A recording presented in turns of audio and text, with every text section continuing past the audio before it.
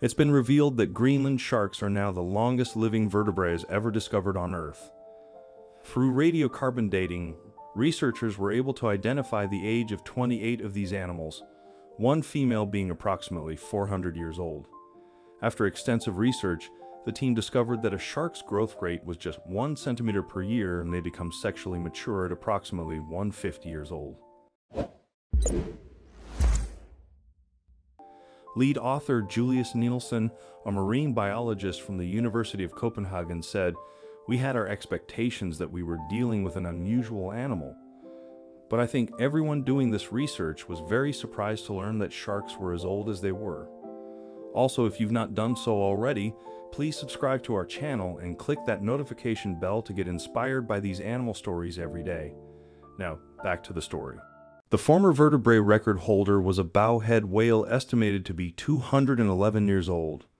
But if invertebrates are brought into the longevity competition, a 507 year old clam called Ming holds the title of most aged animal.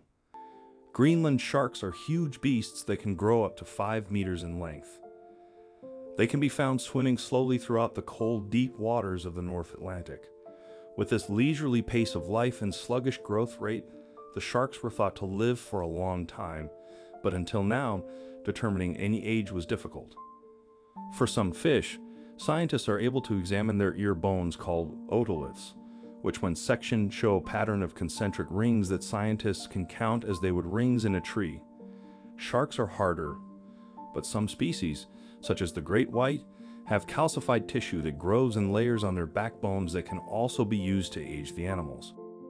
But the Greenland shark is very, very soft shark. It has no hard body parts where growth layers are deposited.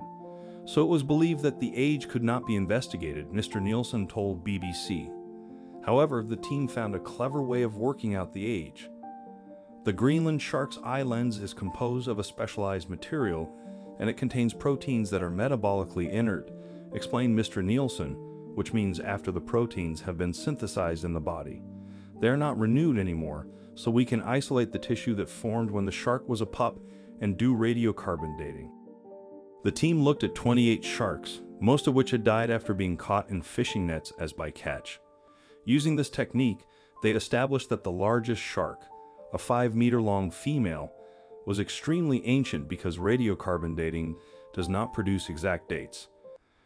They believe that she could have been as young as 272 or as old as 512, but she was most likely somewhere in the middle, so about 400 years old.